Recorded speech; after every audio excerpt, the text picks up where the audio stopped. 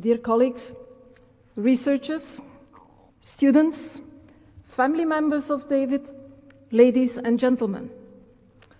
As the Dean of the Faculty of Bioscience Engineering here at Ghent University, it is my honor and pleasure to welcome you officially to the inaugural lecture of the International Collen Francqui Chair 2022-2023, an international Francqui Chair given to Professor David Ellsworth.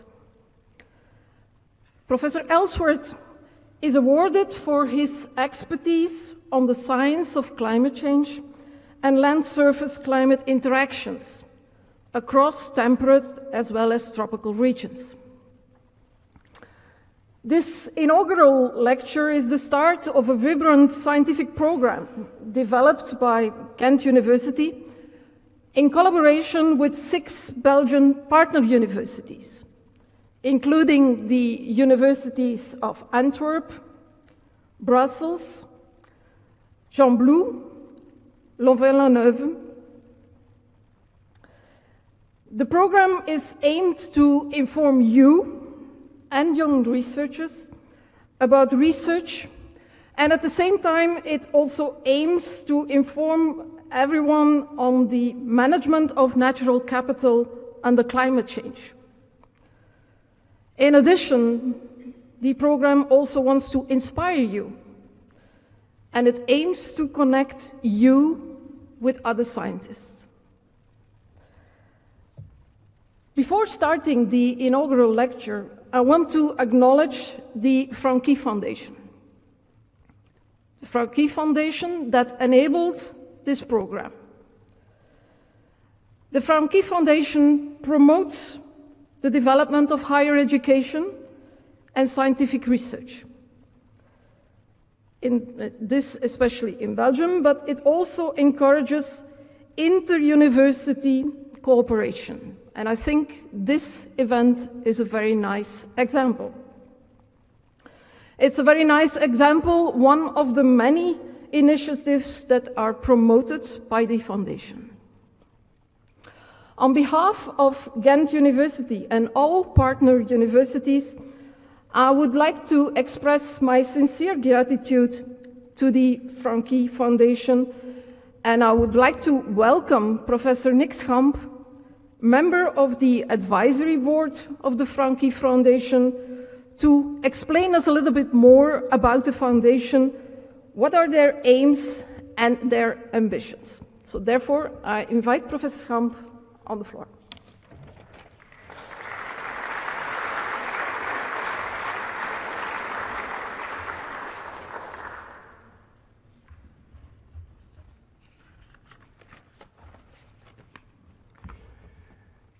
Mrs. Dean, Professor Ellsworth, Professor Verbeeck, dear colleagues, ladies and gentlemen,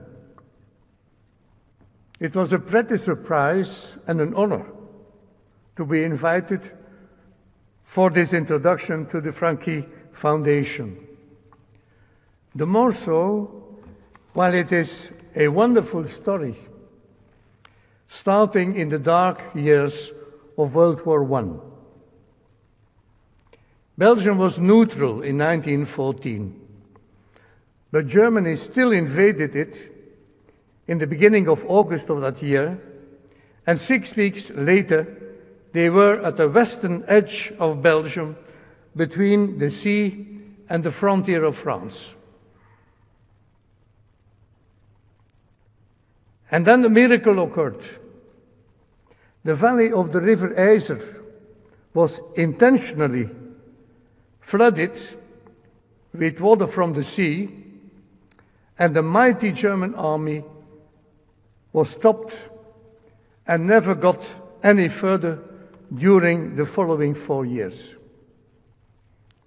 Brave little Belgium, they said. But 90% of Belgium was occupied by the Germans, and they took anything they could use machines, metals like copper, and food. After two months, it was clear that a terrible famine would come about. And then Emile Francqui, Emile Francqui went to the American ambassador for help. As you know, America was not involved in that war until 1917. Who was Francqui? Francqui was a Brussels boy, born in 1863, an orphan, living with his grandmother, and at age 14, he went to the military school, made a career in the army, but left it at age 32 for the diplomatic service.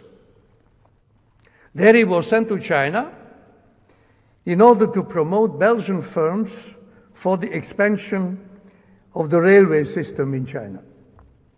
After a few years, he came back and went into banking.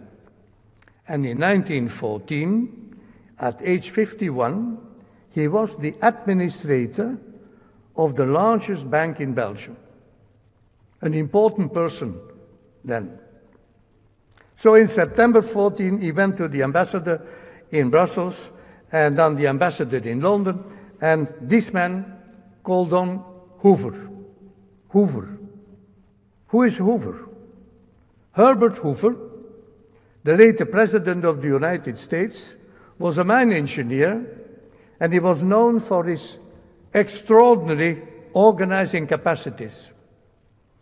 In 14, he was 40 and had already made a fortune in the mining industry in Australia. Francqui and Hoover knew each other, as in China they had been competitors.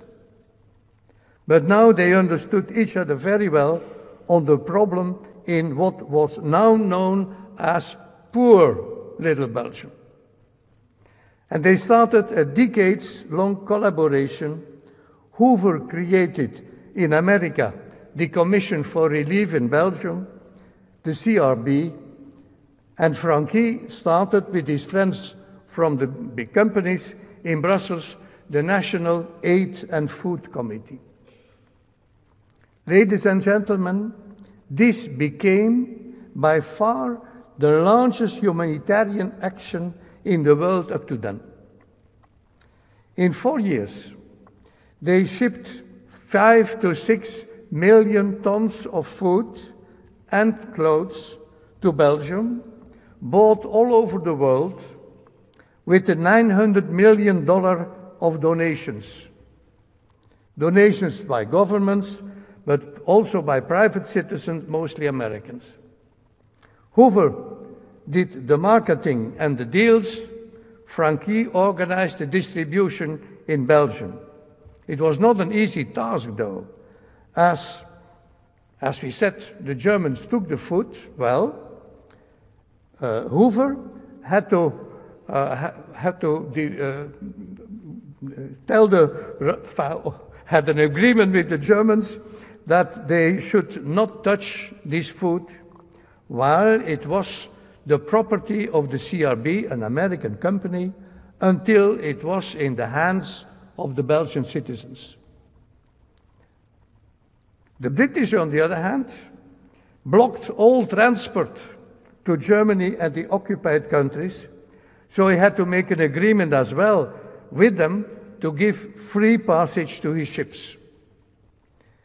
These activities, which had an enormous impact on the life in Belgium, were stopped in 1920, two years after the war.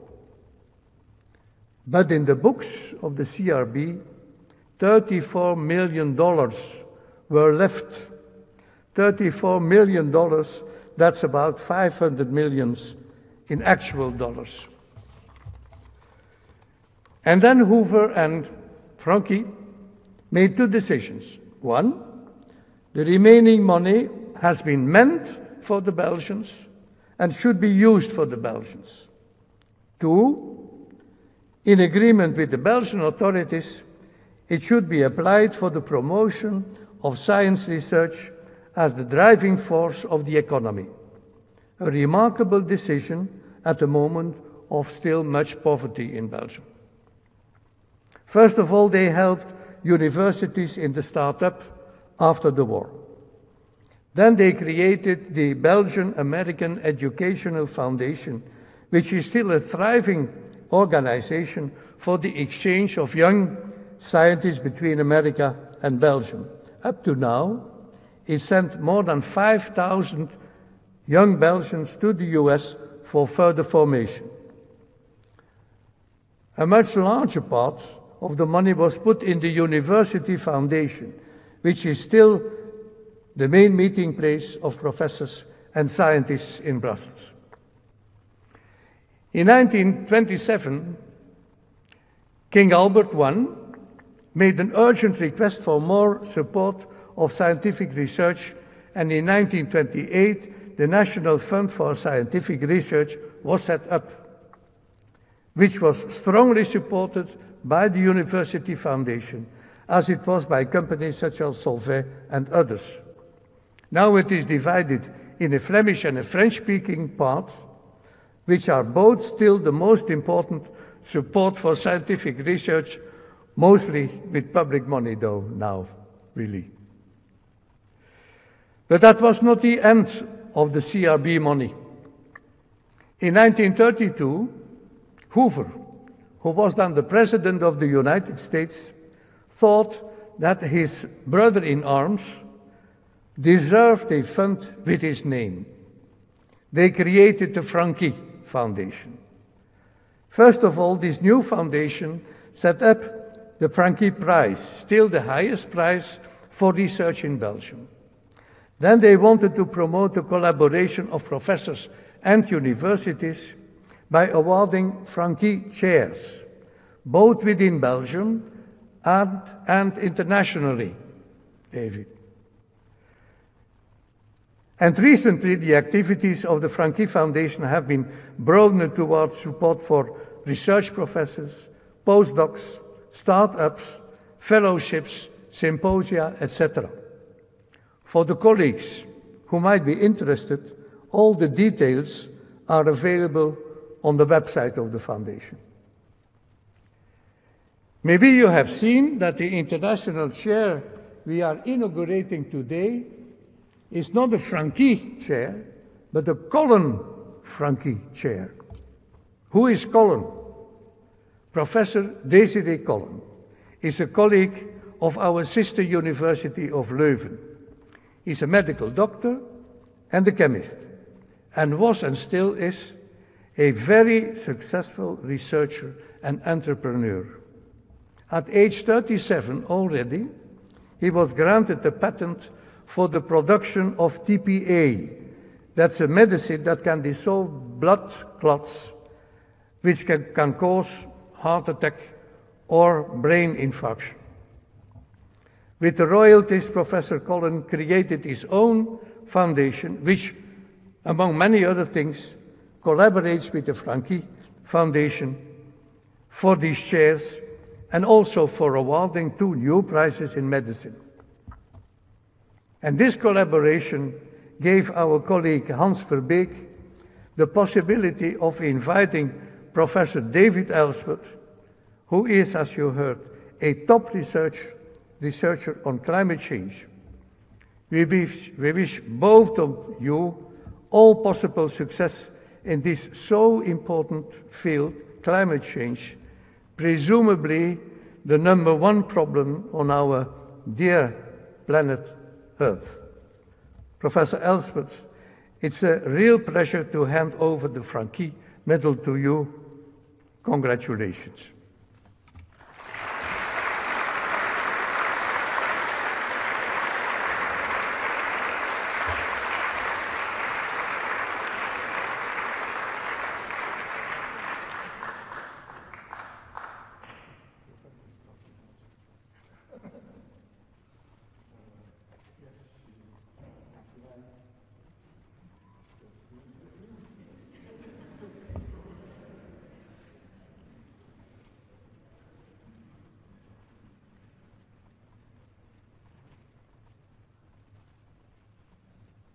other side of the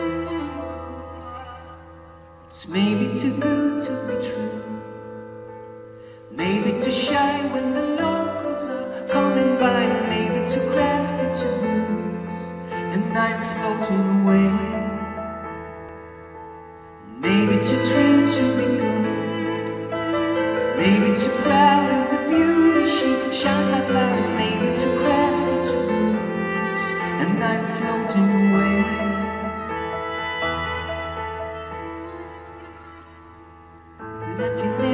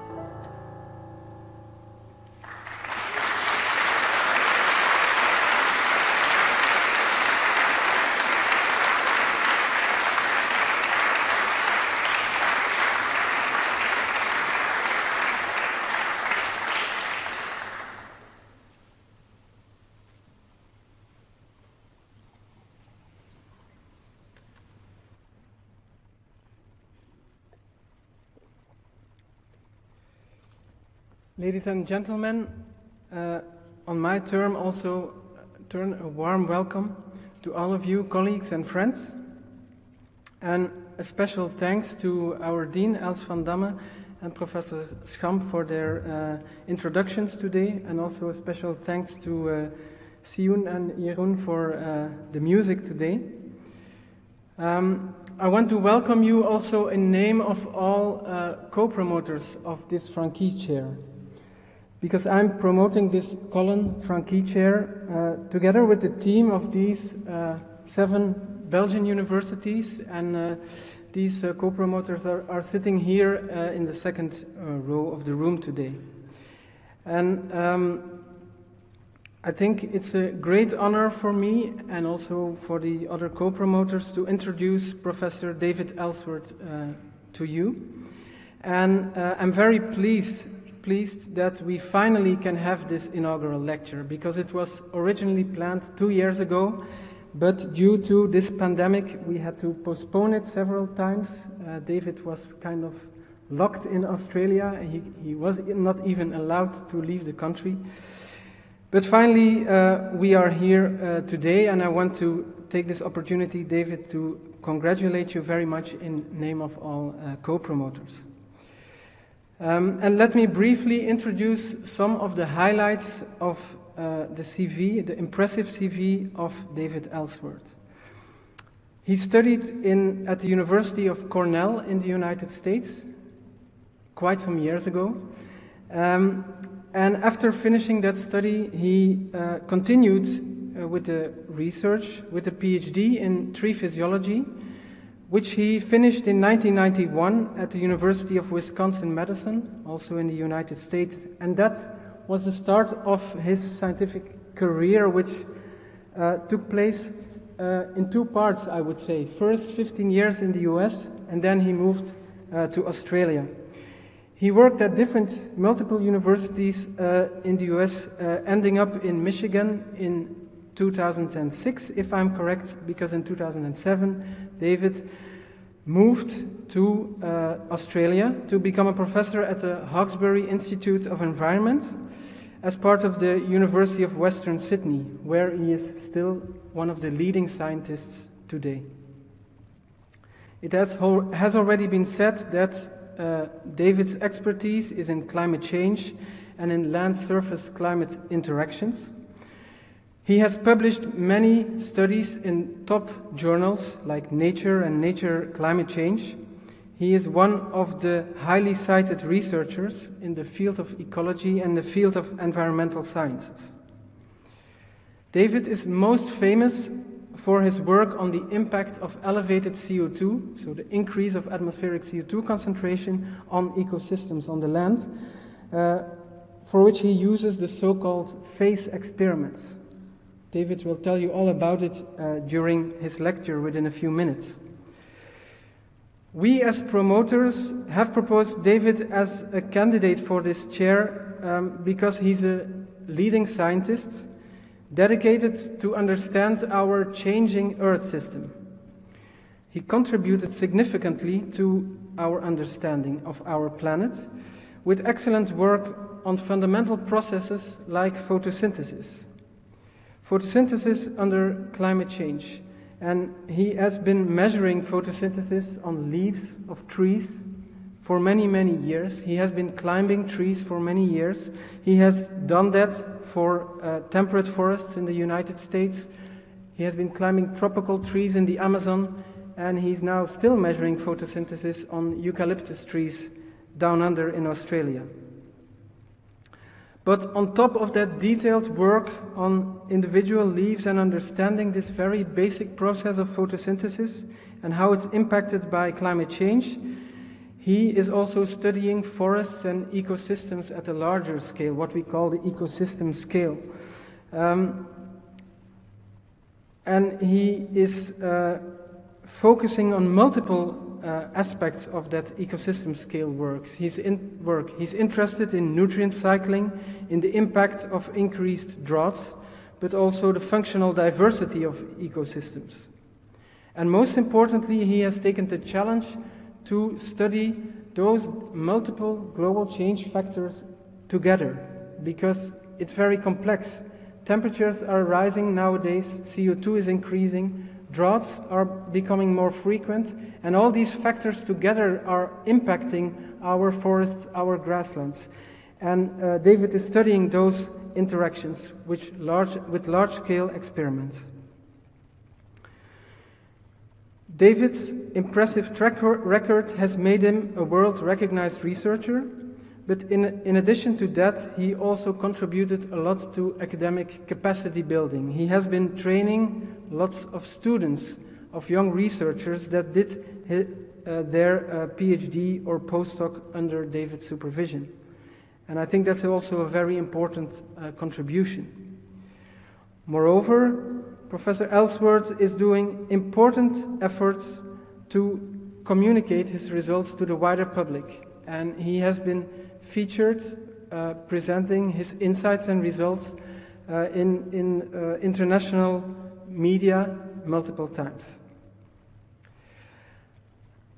I am also very proud to introduce uh, this lecture in name of the Natural Capital platform of the Faculty of Bioscience Engineering here in Ghent.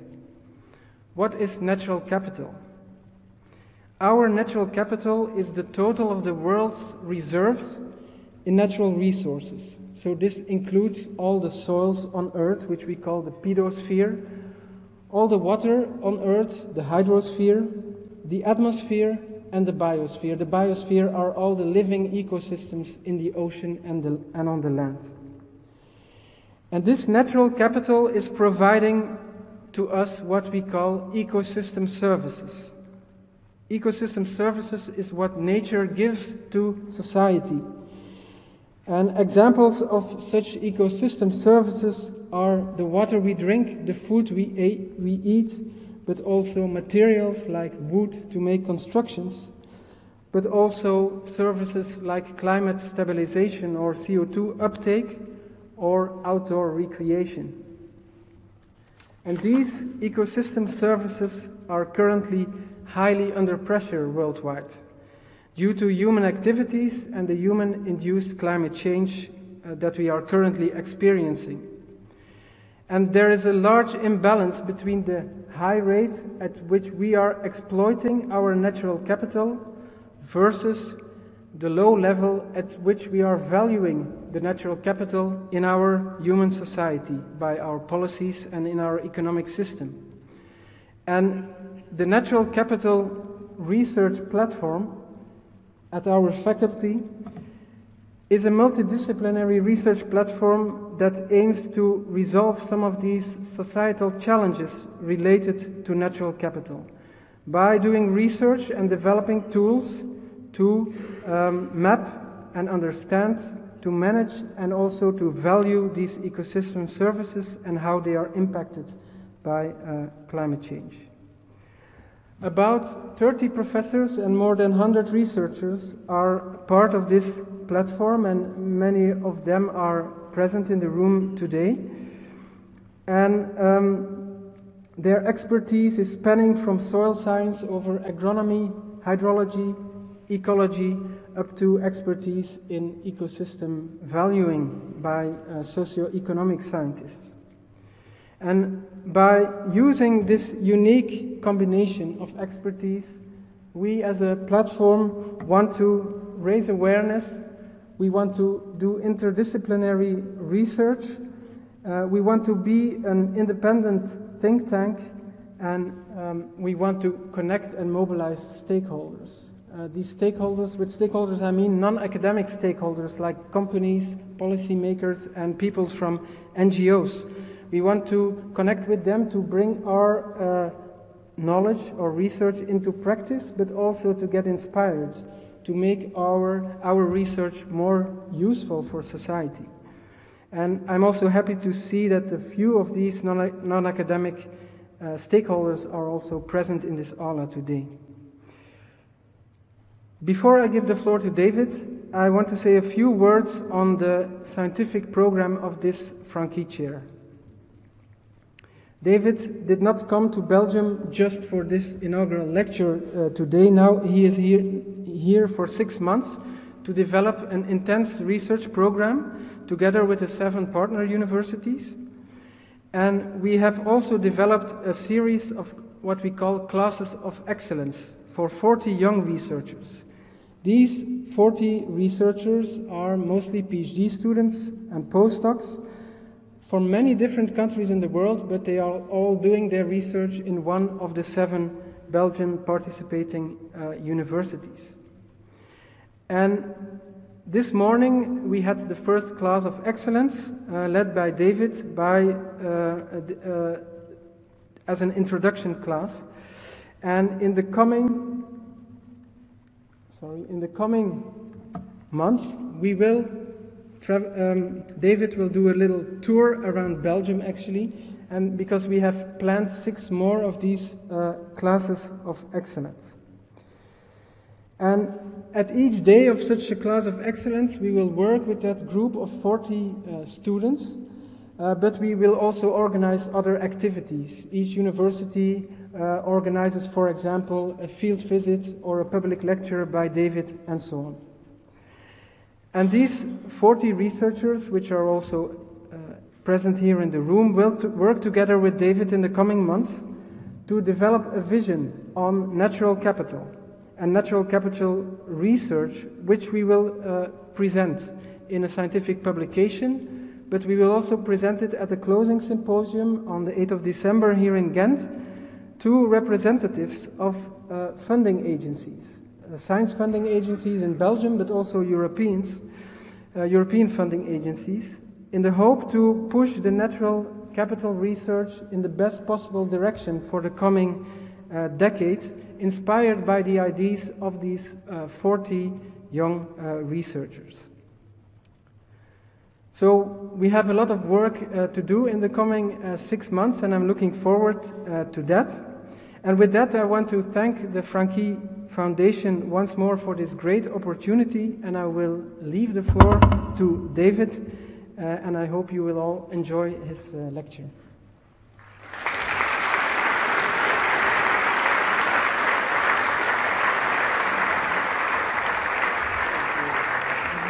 Thank you.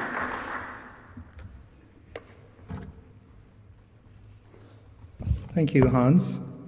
And um, Thank you to the co promoters who've come here today and to those who could not be here today.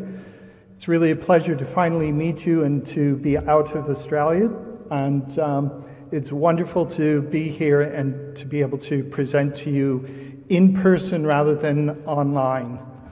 So it's a great pleasure. Thank you to those who have attended from the university, and thank you to the University of Ghent for your fantastic organization to be able to both get me here, but also to be able to make this lecture come true.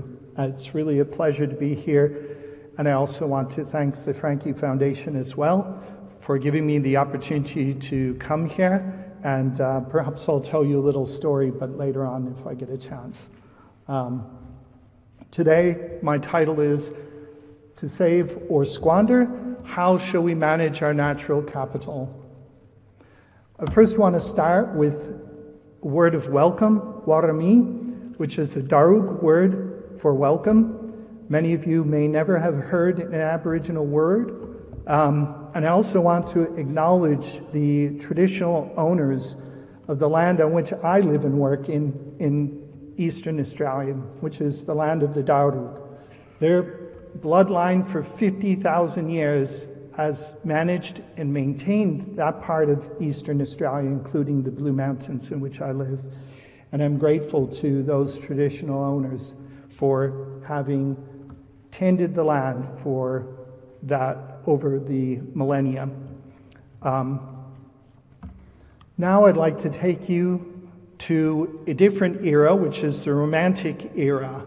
And I want to give you a picture of humans and nature. The Romantic era was in the late 18th century, and the Romantic era was also about the time that Australia was colonized by Europeans. And in that era, which represented an era just after the Enlightenment that put together ideals of art, music, but also science and rationalism. This movement, the Romantic movement, which occurred around then, um, is partly the origination of many of the ideas that we have concerning humans and nature. So the Romantic era really viewed nature as something apart from humans, as an ideal, and in part, the concepts of that era pervade science and society, art, music, literature, and so forth on through today. And the Romantic era and the concepts of the Romantic era involved humans apart from nature, a pure nature, and also the idea that humans and their influence of civilization would taint nature. And so the great thinker Jean Jacques Rousseau said that humans and human civilization will inflict nature with evil, is the thinking behind it. So, um, this thinking, I'm going to contend to you, is obsolete. And we need to do away with this mode of thinking. And so, for many of you, I will bring you into the modern era. But first, I'll start with um, the early plant geographers and their ideas, which emerged at that time of the Romantic era. Alexander von Humboldt, Augustin de Candolle, and other early plant scientists brought about the con- concept that climate influenced vegetation, and in particular, um, Humboldt had the idea that tree lines on mountaintops were forced to a particular elevation by a very harsh climate at higher elevation. So trees couldn't grow any higher than that. And in fact, von Humboldt also brought forward the idea of that zonation of vegetation through the alpine zone down through to the tropical zone. And indeed, von, von Humboldt worked in the Amazon as I did in my early training days and probably experienced many of the similar things to which I experienced. In fact, in the village that I worked in, uh, it's said that around 1802, von Humboldt sat there racked with yellow fever and never moved forward into the great kingdom of Portugal or Brazil at, at that time. If we move a bit forward, that paradigm that was established by those thinkers of the Romantic era was that nature is buffeted in a sea of change. Nature is forced by climate change, and you can see that really in this summer in Flanders, as well as what comes out in the media. And so, this old paradigm really pervades our perspective on climate change right now. So, I'm going to give you a little view of a few articles that have been in the news recently Arctic warming happening faster than we thought, China's drought. The summer in 2021 was the warmest. Of course, that's out the window because we've had another summer that's the warmest, perhaps. Fires in Greece, Morocco, and elsewhere. And the heat wave in the Loire in France. And last, shortages of um, water here in Flanders. And all of these ideas are really telling us that climate change is forcing changes in our vegetation. And it is indeed doing so. But I want to again take you away from that old way of thinking, which I will do very shortly. Let's look carefully at climate change. 15 of the past, 15 of the hottest years on record have occurred since the year 2000. And here we see a concurrence of the rise in atmospheric CO2 and global temperatures. Global temperatures are shown here, and CO2 is shown here. And these are the years through the 20th century in, in, up to the present. And the temperature is expressed, of course, as an anomaly from an average from about the uh, period from the 1950 to 1980 period. So, what you see is a tremendous concurrence of the rise in atmospheric CO2 and the rise in global temperatures as well. That concurrence lies in a set of other recent trends as well that I can describe to you. The uh, rise in population, again, a graph shown from 1860 through to 2000. The rise in population shown in blue. Concurrent with that, the rise in CO2 is the black dashed line. And concurrent with that, a rise in nitrogen loading due to the use of fertilizers. And, of course, the rise in temperature, which is the red dotted line. These are integrally linked to one another because as our population grows, we rely on fossil fuels we emit those fossil fuels into the atmosphere.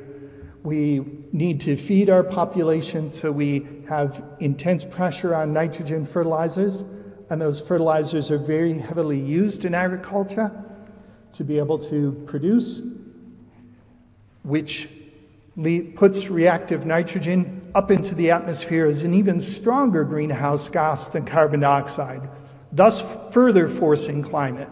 So we have three or four of these trends that are integrally linked to one another and that have changed through time.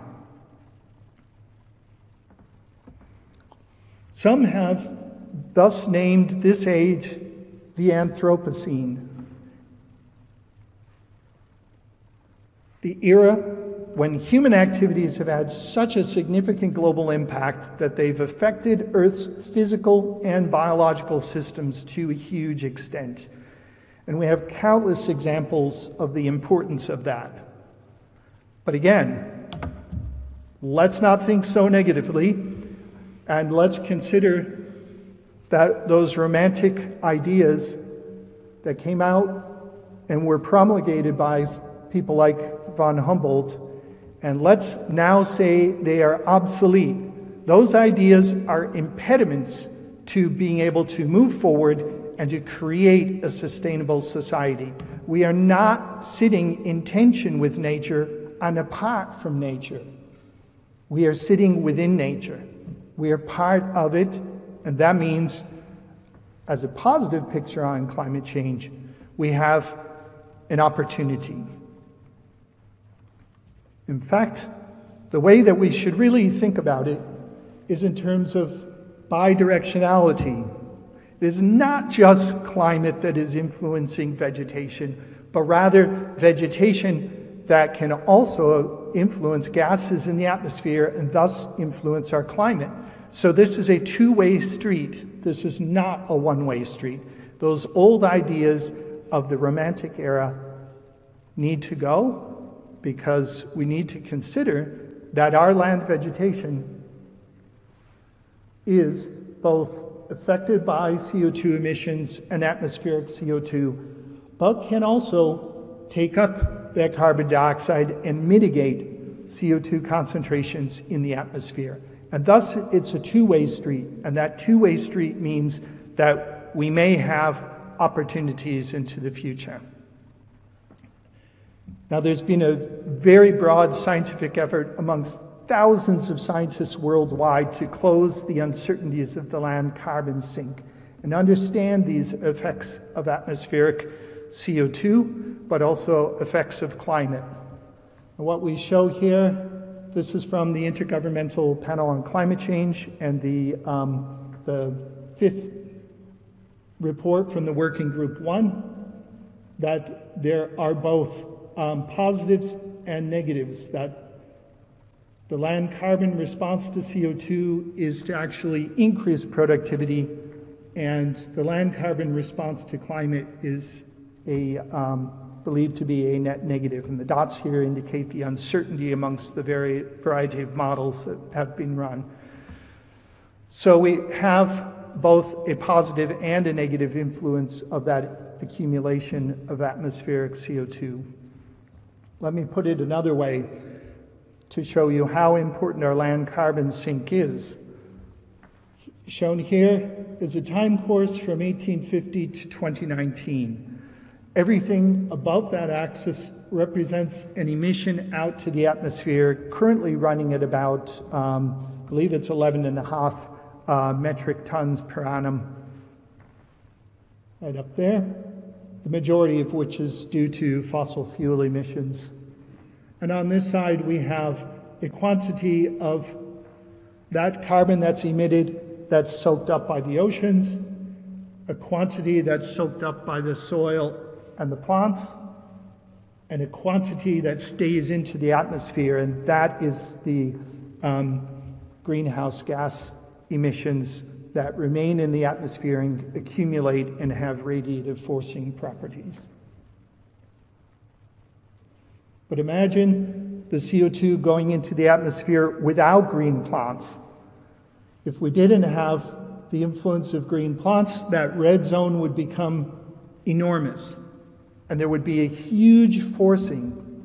So, our land vegetation is already doing quite a lot for us. In fact, we would have a worse global problem due to fossil fuel emissions by about a third if we didn't have plants absorbing CO2 back.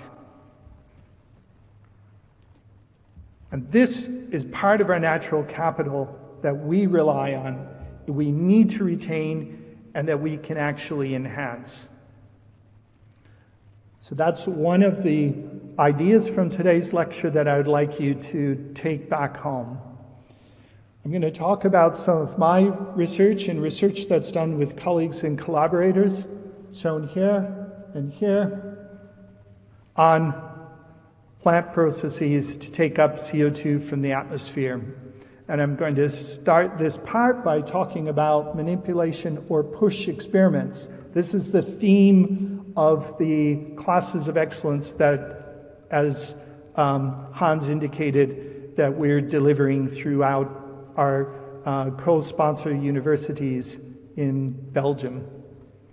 These manipulation or push experiments make a step change in a factor.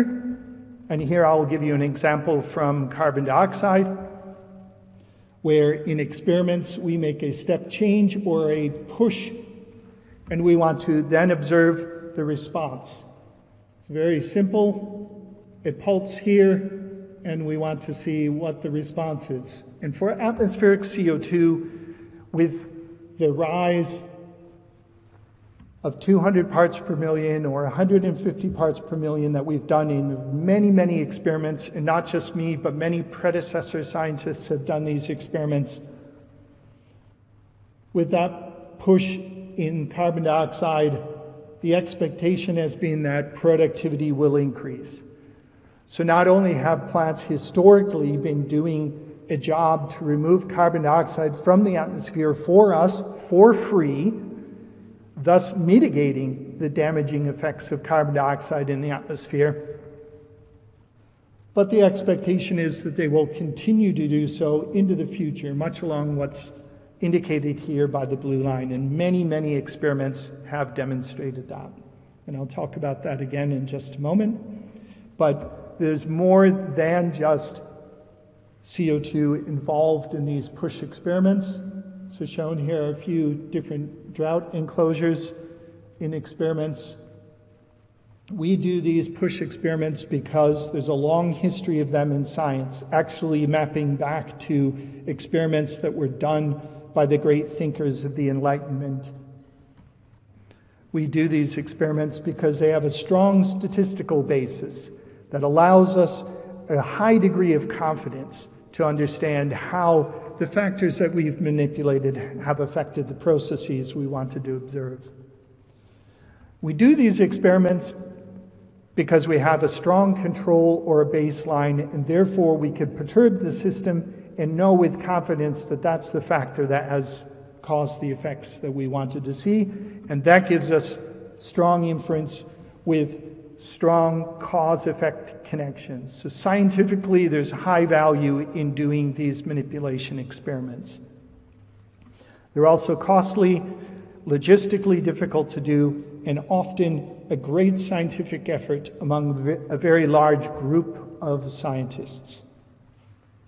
And sh- shown here are a set of manipulation or push experiments where rainfall is decreased by putting a roof over the vegetation or high tech chambers are put around vegetation to grow it at a warmer temperature, or here from the um, EucFACE experiment that I lead in Western Sydney. And all of these are part of the experimental protocol that we use to determine what are the impacts on vegetation, but also to help us to understand that two way street of how vegetation will feed back on the atmosphere as well.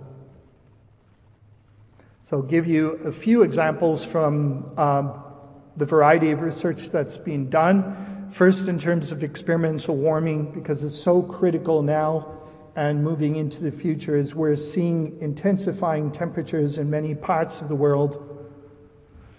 These experiments can be done at the very small scale. Here's a uh, leaf heating experiment done in the Australian tropics by Kristine Crous. Here's a colleague in America, Peter Reich, doing a warming experiment of plots using infrared heaters. In this case, then seedlings are being warmed, and our own experiments using large tree chambers with a controlled environment around trees that we can have a warmed environment as well as a control. And what have we been finding in those experiments? Well, we grew a particular eucalypt Tasmanian blue gum in these tree chambers, and we had a six day heat wave. Now, I've seen heat waves here. Our heat waves in Western Sydney, um, that's six consecutive days topping 38 degrees C, and in fact, uh, the warmest at 40 um, for this particular heat wave. Um, when that heat wave, on the first day of that heat wave, this is the way that a number of trees looked in this experiment. And by the ninth day, after temperatures had cooled off to about 25 degrees C, you can see the effects that killed those trees. Very remarkable in some sense, and probably unsurprising to many of you. Um, but what we have learned is more important from these experiments. We've learned how to manage the heat. And shown here are pictures from another heat wave in uh, Western Sydney in Penrith, Australia, as well as uh, Tree by the Leie here in Ghent this summer. And managing the heat will mean that we need to make appropriate species selections for plantings. We need to think for the future in the next 30 to 50 years when we make our plantings now. And I also want to highlight that we need to ensure a good soil substrate, so more than 30 centimeters wide, I would imagine. Um, so these are some pictures from suburban Western Sydney. And we need to ensure that good soil substrate, and we also need to learn from failures. Our ability to learn from failures is what makes us unique as, as uh, organisms on this earth, and we should really use that knowledge when we think about subsequent plantings. And in fact, what I want to encourage is that we diversify plantings particularly in urban environments, and learn from those failures to increase the diversity in those areas that are affected by heat waves. So that the heat wave is not just an impact, but an opportunity to diversify our plantings, keep the survivors, and plant other tree species in urban environments that can give back the amenities that we rely on the shade and the cooling during heat waves and so forth. Sorry. I want to talk about the second push because that's been an area of research for me for a long time, which is the increase in atmospheric CO2 using the free air approach. And I've been involved in these free air CO2 experiments since the early 1990s, so almost the majority of my career. Um, sorry, the majority of my career. Um, and that involves the computer controlled emission of CO2 from these so called vent pipes that surround the vegetation. So, the way that that works is that when the wind when there's a high wind speed, the CO2 is emitted upwind, and the natural air takes that carbon dioxide across the plot, thus bathing the vegetation in a high CO2 environment so that we can understand how high CO2 affects the plots. Under calm conditions, the CO2 is emitted from every other pipes, and this is a computer controlled system that needs to be mod- modulated very rapidly in order to do it. I've been involved in CO2 experiments of a variety and um, we have three basic expectations from these experiments that I'd like to illustrate to you now. The majority of the hypotheses have posited that plants will find resources and growth will increase according to this blue line. So when we increase the CO2 concentration suddenly, we expect an increase in the productivity of the vegetation, soaking back a portion of that CO2 that we've emitted, and that that can continue in the long term is the expectation from the majority of studies that have preceded me and even some of the ones that I've done. But we have now two new hypotheses or newer hypotheses. One of those where there's an early stimulation of productivity and growth amongst the vegetation but then a decline. And we, the hypothesis is that plants face increasing nutrient limitations over time. So as they're doused with high CO2 year after year, they're unable to maintain and sustain those growth increases, and we see these declines. And there's a strong feedback with the soil system that we're still understanding from those experiments. And the third prominent hypothesis is shown in green, which is the strong control by nutrients. So there's virtually no response of the vegetation to that increase in CO2. And that drives in stark contrast to the blue line. This is urgent information that we need because if our vegetation is already eliminating a third of the problem with atmospheric CO2, but that's all that it can do, that is crucial information that we need as a society in order to consider alternatives for management into the future. And so, the uh, first experiment I was involved in from the um, early 1990s through to um, about 2003. And in this experiment, we exposed a pine plantation, a young pine plantation, to high CO2. The high CO2 is shown in the red. Over time, we saw an early increase that was rather large in the productivity of that vegetation, measured as the above ground woody growth. And then we saw that that subsided a bit over time. So that was equivalent to the um, scenario in brown that I showed in the previous slide here. And we believe that did result from plants facing increased nutrient limitation. In fact, we added nutrients back and the growth um, enhancement increased again. So we think we've uh, proven that as best it can be.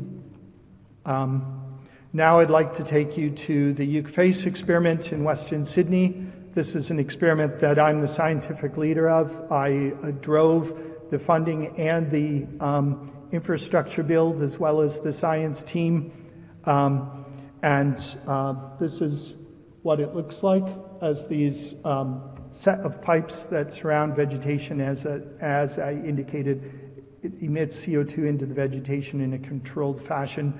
Um, just to give you a little sense of what is involved in infrastructure in these experiments, um, we have 56 tons of trees that are exposed to high CO2 in this experiment, and that's 263 trees, and these are mature trees over 100 years old. The first time that's ever been done globally exposing trees of that age in an ecosystem, an intact ecosystem, to high atmospheric CO2. Until then, we've been wondering how our old forests might respond to high CO2. A few other numbers the CO2 use at max can be about um, 2,000 kilograms per, or two tons of CO2 per hour. That sounds like a lot, and yes, it does cost $4 Australian per minute to run these experiments. Running them continually throughout the year is um, a costly endeavor, but a very an important one and a world first again in terms of what we've achieved at EucFACE.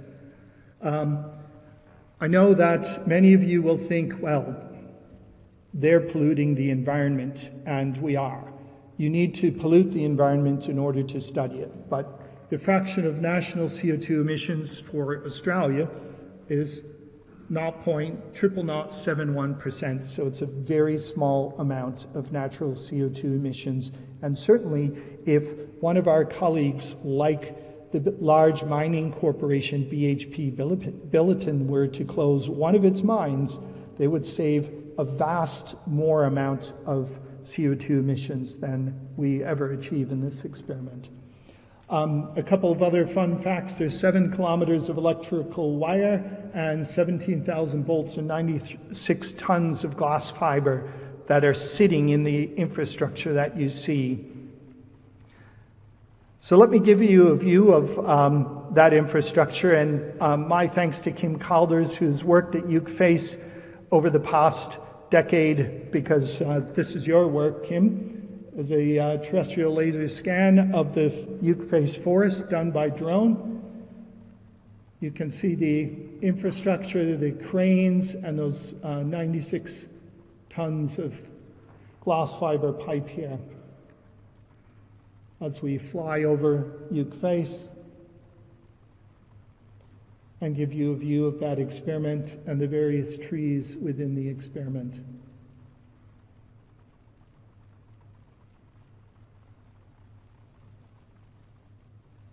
So that's what EucFACE looks like. Thanks again, Kim. What have we found at EucFACE so far?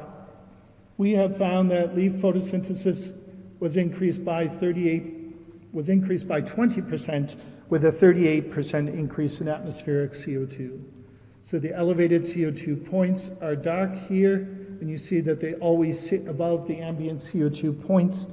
With our replication and everything else, our average response ratio is 20%. And that's over the first uh, five years of that experiment. When we looked at above ground net primary productivity, that didn't respond to CO2 though. So we have all this CO2 that's coming in via photosynthesis, but it's not showing up in terms of above ground productivity. So the ambient bars are shown in, in uh, the darker color of red, and the elevated bars are shown in uh, the pink color. And you can see over time there is no difference between ambient and elevated CO2 in terms of this um, above ground net productivity. When we look at the wood component of that productivity, the growth of the trees, in fact, we also see no effect of CO2, but we do see interannual variability. So again, ambient is shown in the um, dark red and elevated in the light pink in this graphic.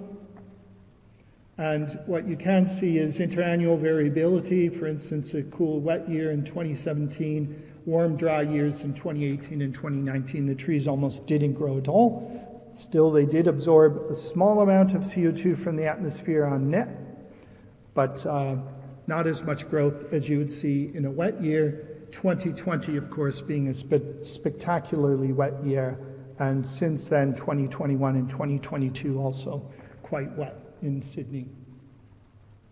So there's variation in the productivity and the growth in the wood, but still no CO2 response overall.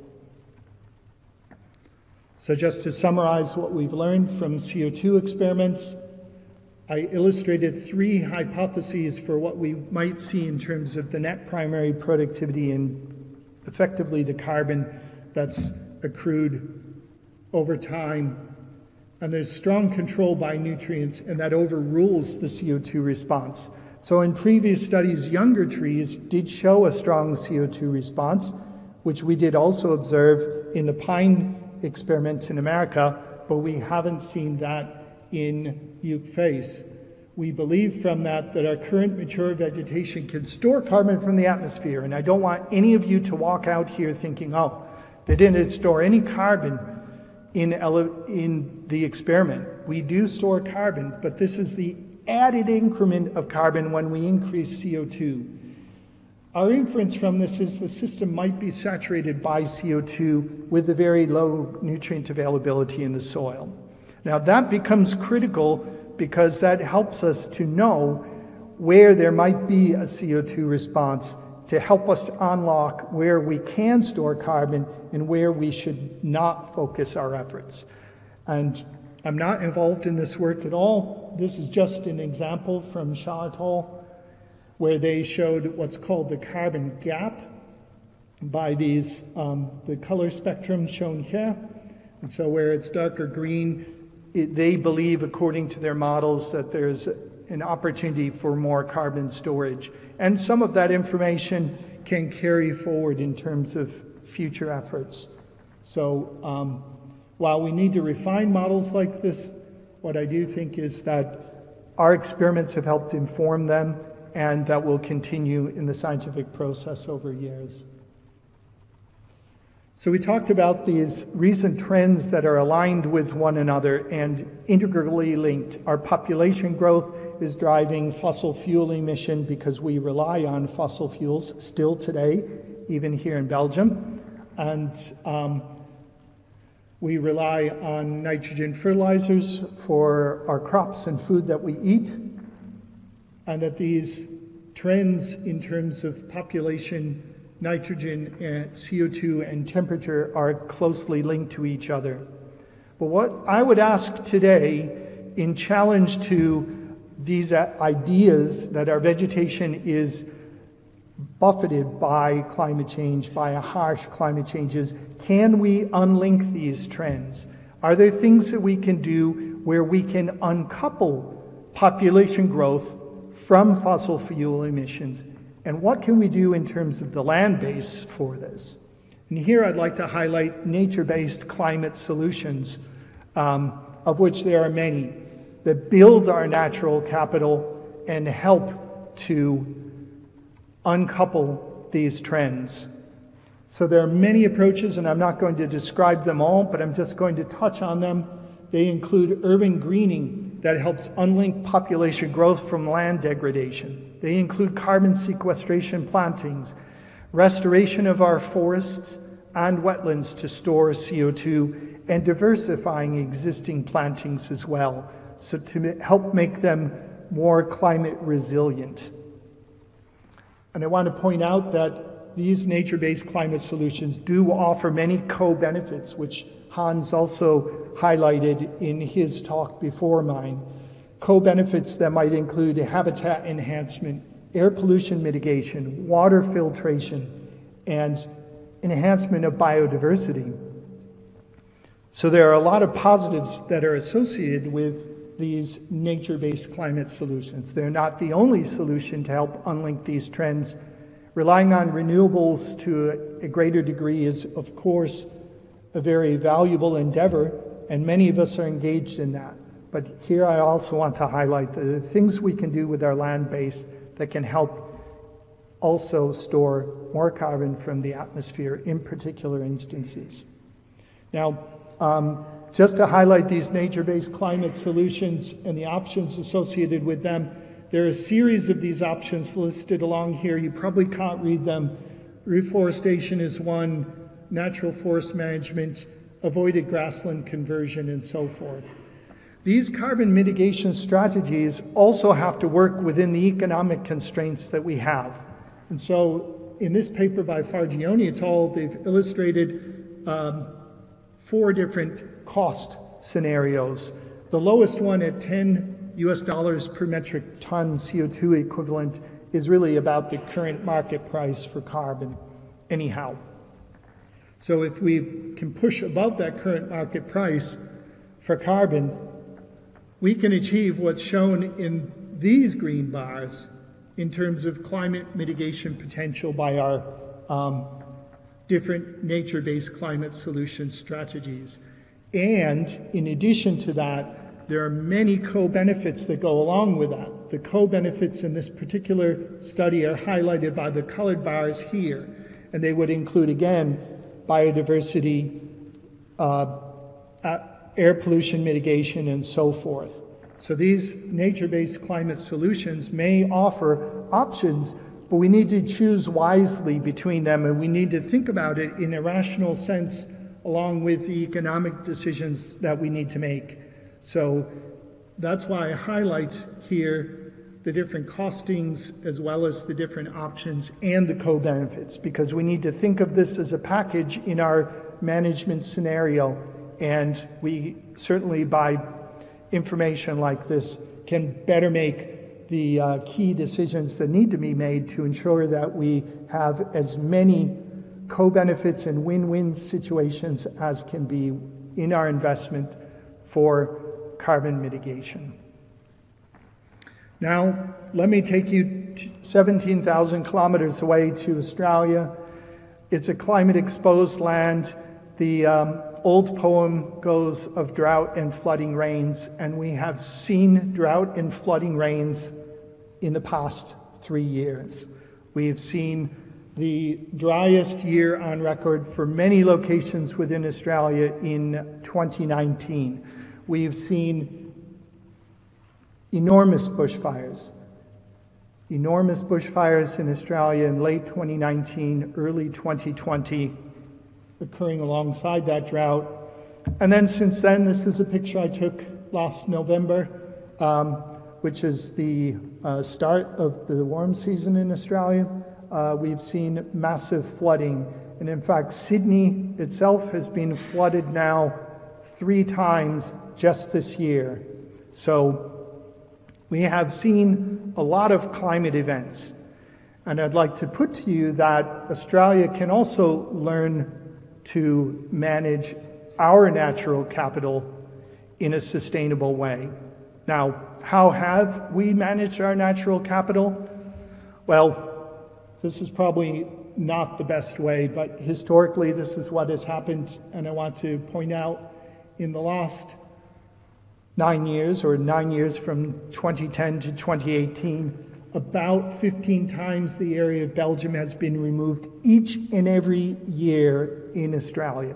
So, this is the land clearing rate both for primary forest and re-clearing.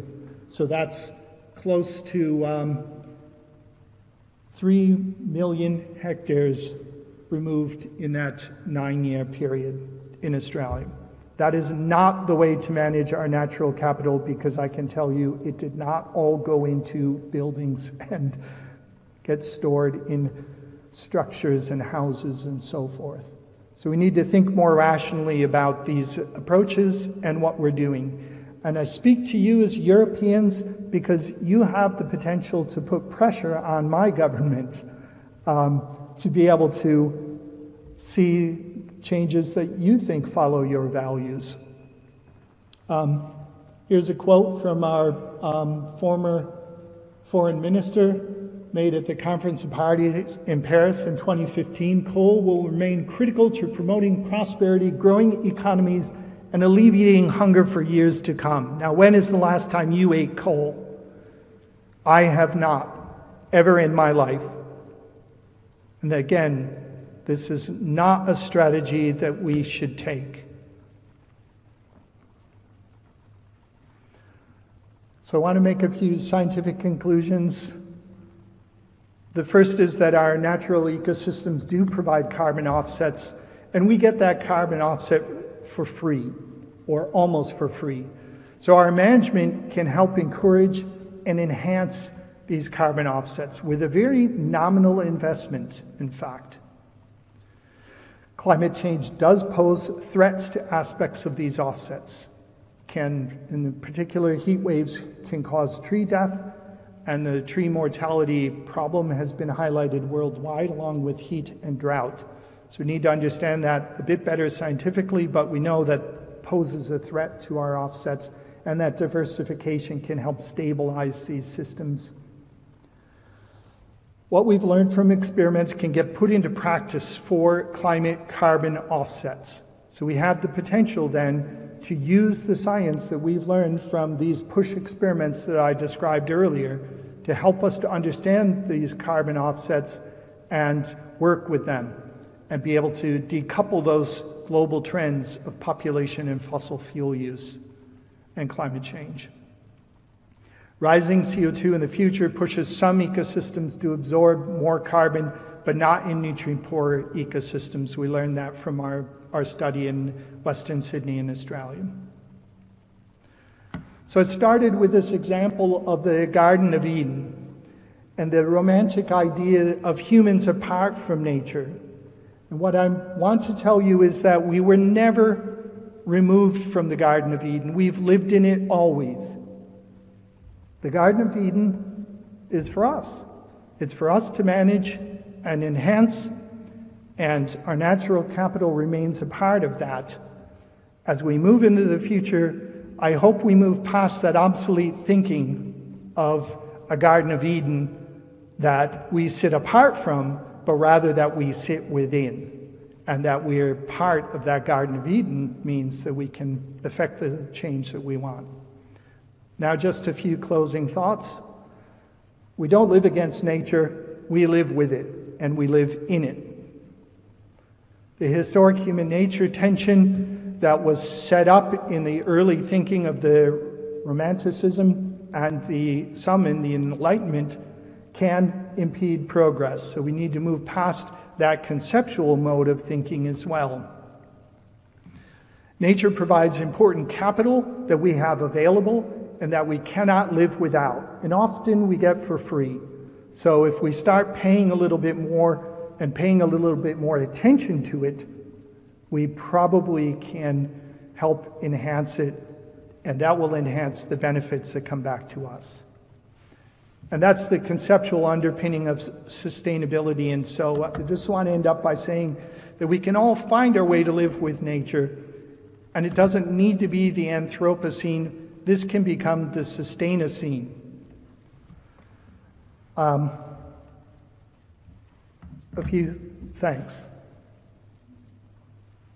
Thank you to my family and um, to my wife, Christine. Thank you to all my collaborators who have made the science that I've done possible because it's not just one person that does this. I want to thank the university promoters again. Thank you for coming tonight as well. I look forward to chatting with you. And I want to thank the Francqui Foundation as well for the opportunity to do this, to come to Belgium, to work with my colleagues at Ghent University, and to work with Hans Verbeeck. And I'm very grateful to you, Hans, for also giving me the opportunity that we schemed here in uh, 2019 and have finally seen come to fruition. So thanks very much for listening.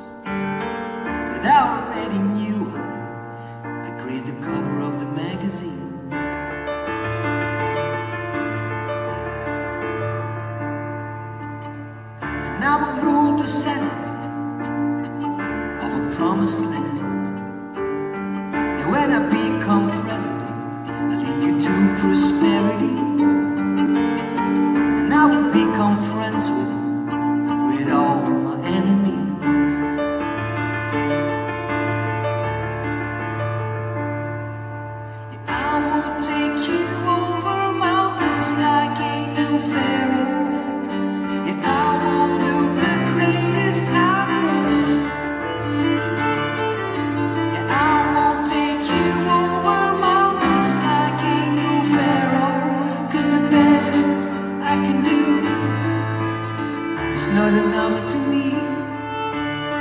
And I will sculpt the mountain into a pyramid.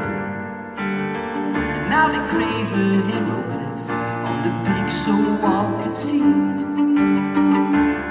This is the palace of an everlasting dynasty.